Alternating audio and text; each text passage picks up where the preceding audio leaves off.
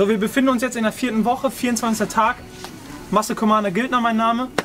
Und zwar, wir befinden uns hier wirklich im Paradies. Ja?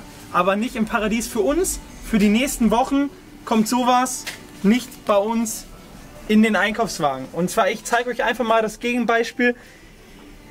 Ob, obwohl mein Name draufsteht, nehme ich das natürlich nicht.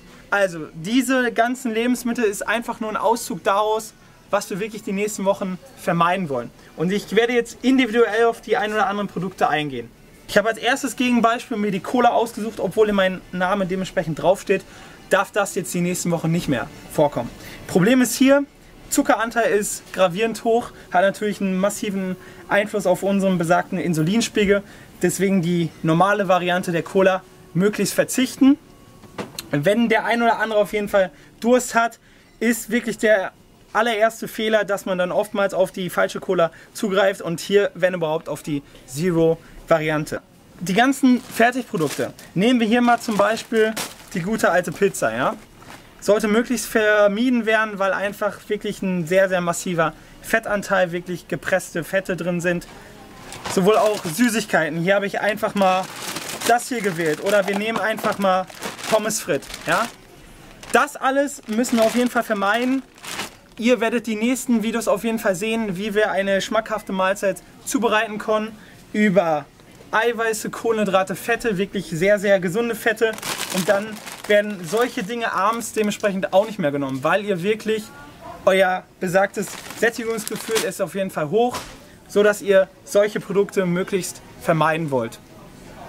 Nehmen wir zum Beispiel die Convenience-Produkte oder Fertigprodukte.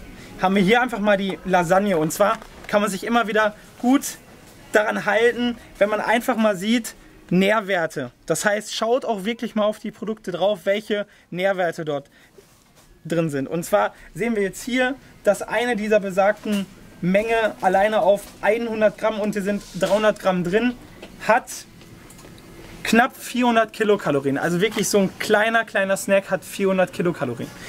Und da ist natürlich der aller, allererste Fehler, äh, wenn wir natürlich abnehmen wollen, sollen wir keine positive Energiebilanz fahren, sondern wirklich eine negative Energiebilanz. Gehen wir dann weiter und zwar als Alternative habe ich jetzt einfach mal ausgesucht Kakao. Es ist wirklich erlaubt, wenn ihr einmal pro Woche wirklich Süßigkeiten in der Form zu sich nimmt und zwar immer eine Riege. Und zwar hier, der, ähm, hier einfach mal der Vorteil, wir haben hier einen Kakaoanteil ungefähr von 99%. Das heißt, wenn ihr eine Riege für eine Woche nimmt, sollte euer ganz normaler Bedarf damit gedeckt sein. Und ihr, und ihr verzichtet natürlich nicht vollkommen auf die schlechten Lebensmittel. Das heißt, wir verzichten nicht komplett, sondern ersetzen einfach die ein oder anderen Produkte, zum Beispiel hier durch die Coke Zero oder durch den erhöhten Kakaoanteil. Das vermeiden wir und das wollen wir. In diesem Sinne,